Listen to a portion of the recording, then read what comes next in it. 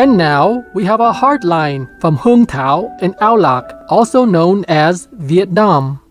Kính thưa Sư Phụ Thanh Hải Vô Thượng Sư, con xin kể một trải nghiệm của con trong lúc con đang thiền ánh sáng thiên đàng nội tại bế quan trong dịp Tết Nguyên đán. Vào lúc tối thứ bảy tức là mùng 5 Tết âm lịch, thiền ánh sáng thiên đàng nội tại, xong con nghỉ ngơi thì con vừa nằm xuống ngủ lúc đó 11 giờ tối thì con chập mắt một xíu thì thấy ba con virus COVID-19 bay lượn trước mắt con. Nó màu đen, có nhiều miệng và có mắt bay đến trước mặt con và nói chuyện với con rằng ta sẽ bay đi giết chết loài người đây. Lúc đó con vừa tắt tivi mở thuyết pháp sư phụ. Con cảm thấy con virus đã chui vào đến cổ họng con và con cảm thấy lúc đó cổ họng con bị khô rát họng. Mặc dù con đã xúc miệng bằng nước muối và uống nước gừng rồi. Sau đó con không ngủ nữa và mở mắt ra thấy con virus bay từ trong cổ họng con bay ra lại và nói Dậy ngồi thiền đi em, ta sẽ tha mạng sống cho.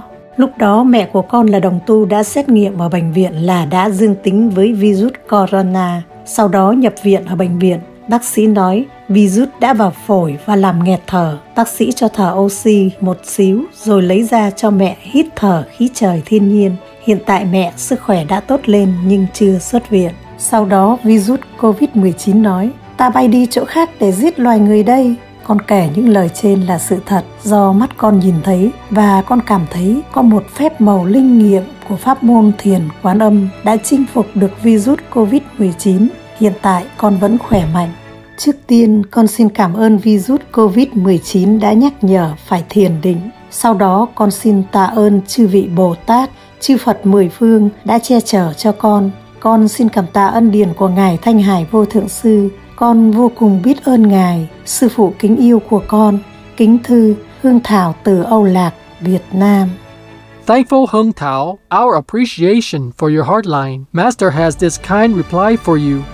Intelligent Hung Tao, now you know that what I have been saying is true. I thank you for sharing this so others can see the real situation as well. Kuan Yin practitioners are truly blessed to have the protection of the Kuan Yin method in these uncertain times, given that they are sincere and diligent. Let's pray that everyone quickly wakes up so that our planet does not have to go through even more horrible karmic consequences that are coming if we don't. Do your best to share information on veganism with those around you as well and ask them to pray for World Vegan Daily. We must help awaken as many people as possible before it is too late. May heaven's grace be upon you and amazing Aulak or Vietnam.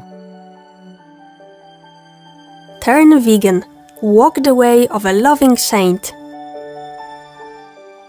We welcome your heartlines, stories, and or cute, loving animal people clips. Please send them via suprememastertv.com forward slash heartline.